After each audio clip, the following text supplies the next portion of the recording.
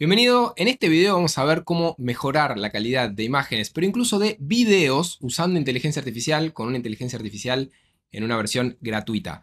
Esto está muy bueno para que los videos que haces, que a veces viste tienen medio mala definición o mala calidad, se vean mejor dependiendo en qué plataforma lo quieras publicar o incluso si es un video cortito que se vea con más definición, está buenísimo, que parezca más real y que tenga más detalle. Así que te voy a mostrar el paso a paso desde registrarte en la app totalmente gratis a cómo hacerlo y cómo te puede mejorar los resultados. Vamos a ver. Eh, bien, eh, la herramienta que vamos a usar se llama Crea. Acá yo ya, entré en la web, pero simplemente buscas Crea en Google con K. La web es crea.ai. Te registras con el mail de Google, es muy rápido, en un par de clics. Le das aceptar y ya estás adentro. Adentro de Crea tenés varias opciones, hay muchísimas cosas. Puedes usar Flux, que es un modelo que está muy bueno para hacer imágenes.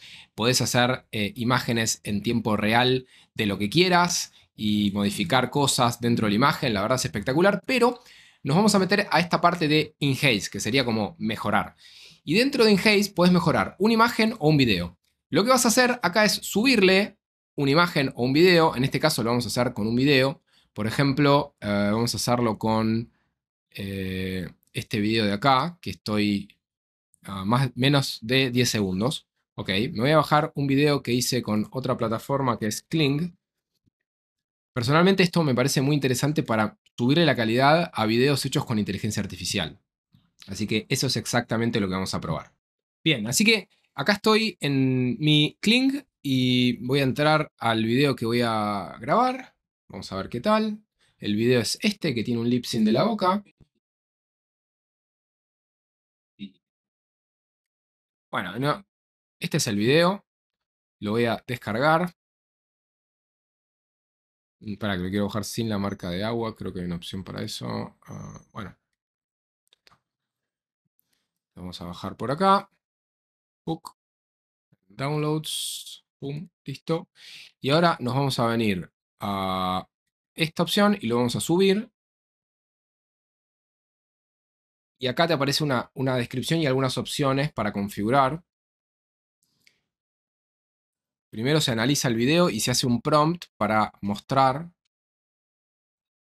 lo que, lo que dice. Vos lo podés ajustar. También puedes ponerle que sea más parecido y, modificar algunas cuestiones. Ponerle preset cinematic. Bueno, te da varias opciones. En la versión gratuita creo que no puedes ir al por 2. Vamos a intentarlo, pero creo que no podés.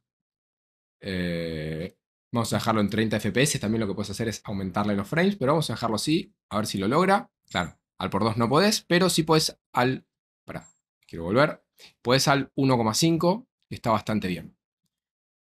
Y ahí le das a Enhance. Y empieza. Esto tarda un ratito, así que mientras se carga te voy a mostrar otro que ya hice. Y cuando se hace te muestra cómo era la versión original, que esta es la versión original que había hecho. Eh. Este es el video original. No, perdón, este es el video original. Te estaba mostrando el, mejorado. Y ahí le pasas, y fíjate por ejemplo los detalles de la frente, cómo le agrega elementos, la textura de las balas, la mano. O sea, algunas cosas no cambian mucho, pero otras tienen unos detalles interesantes, ¿no? Personalmente me parece que está, que está bastante bueno el manejo de las sombras. en la cara es donde más se nota, quizás el resto no, no cambia demasiado. Eh, me parece que está bastante bien para tener opción gratuita. A ver si ya se hizo el otro. No, esto va a tardar un rato, así que vamos a dejarle que procese. Bueno, acá lo tenemos, eh, lo podemos ver. Básicamente lo que cambia parecido en la otra son eh, la cara, ¿no? Que lo hace de una forma bastante específica, como que le agrega un poco más de detalles, más de arrugas, más de luminosidad, más de... como si fuera un poco más de, estudio. El resto no cambia demasiado, sí, por ahí la armadura hay un poquito, me, gusta, me gustan los detalles.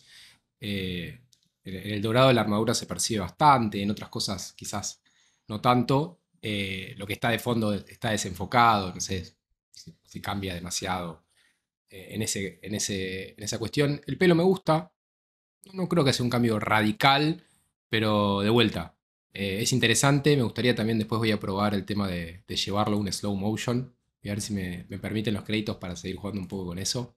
Creo que es bastante interesante lo que permite hacer esta, esta herramienta. Bueno, sí, parece que lo va a llevar a slow motion. Otro día comparto esos resultados pero me parece interesante lo que hace eh, de vuelta en una versión gratuita, ¿no? Porque herramientas que hacen esto eh, de forma paga hay varias, pero, pero gratuitas no, no, había visto alguna buena y fácil de usar como esta. Así que recomendable. Crea AI. Eh, tiene muchas otras funciones que no me voy a poner a explorar ahora. Pero bueno, también sube la calidad de, imágenes. Otra cosa interesante, crea imágenes con Flux, que también está, que también está bastante bueno que pueda hacer eso. Eh, recomiendo la app, me gusta bastante. Eh, espero que te sirva, que la puedas usar.